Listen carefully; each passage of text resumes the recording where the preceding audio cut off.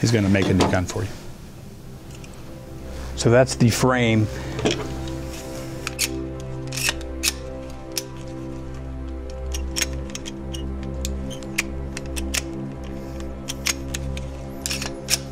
This is a uh, privately made firearm. There's no serial numbers on Yeah. it.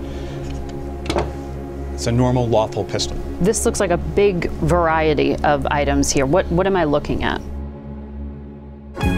This is was manufactured, and then the end user can take it with about 20 minutes of time and convert it to a working firearm frame. And- This is a ghost gun. Yeah, see, this isn't just a ghost gun. This is a ghost gun with the unmachined metal part. So again, no serial numbers. How long does it take to make something like that? Like you said, 20 minutes. This is like the thing that even I could do. Mm-hmm. Is it expensive?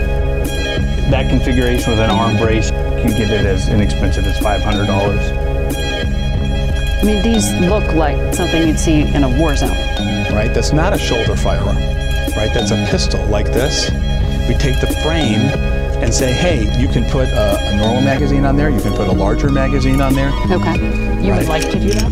If you're selling firearms parts alone, a frame or receiver, Parts are not regulated. and they're not regulated. This feels metal and heavy and significant. This doesn't feel like something that came off a 3D printer. Of course, right? How can you tell, Yeah. right? Uh, w- w- our rule says these two things are the same. They look right. There is no reason you would use that for hunting.